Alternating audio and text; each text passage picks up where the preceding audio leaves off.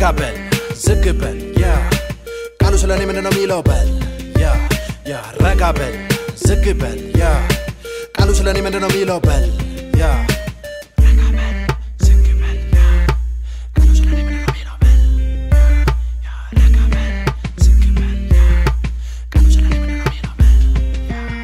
የራስን ዓለም ብቻ ሰርተ ተረት ተረት መሳይ አበጅተ ውድቀት ሐዘን ሽንፈትን ሞልተ ዙሪያን ሁሉ አጥር ሰርተ አንዴ ኩፍ ስትል በራስ ስትኩራራ ደሞ ሌላ ጊዜ ራስን አፈር ስታበላ ደሞ ድርቆሽ ተረት ብቻ ስለዚህ ዝግ በል ምትባለውን ስማ። ብቻ ተገንጥለህ ገደል እንዳትገባ።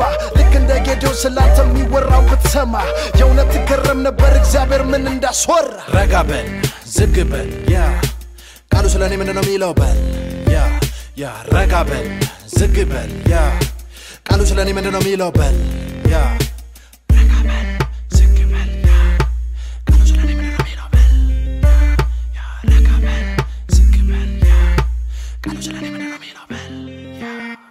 ለሁሉም ነገር ጊዜ አለው። ከሰማይ በታች ለሚከናወነው ምድራዊ ጭንቀት ከንቱ ነው።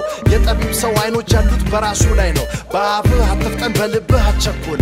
ከሰማይ የወረደውን ቃል መና ነው አትበል። ክፉ ቢያወሩብህ ቃል ጥቂት ይሁን። የእነሱ መውረድ ያንተ ግን አይደለም ዝቅ ያደረጉ ቢመስልህ ሊደንቅህ አያስፈልግም። አትለወጥ በእነሱ ስንፍና ይልቅ ትልቅ ባደረገ በቃሉ እስኪመጣ ቀኑ ታግዘ በሁሉ አንደበት ክፉ የቱ ጋር እንደሆነ ስሩ። አውቀኸው ካሁኑ አሸንፍ በቃሉ በቃሉ ረጋ በል ያ ቃሉ ስለ እኔ ምንድን ነው የሚለው በል ያ ያ ረጋ በል ያ ቃሉ ስለ እኔ ምንድን ነው የሚለው በል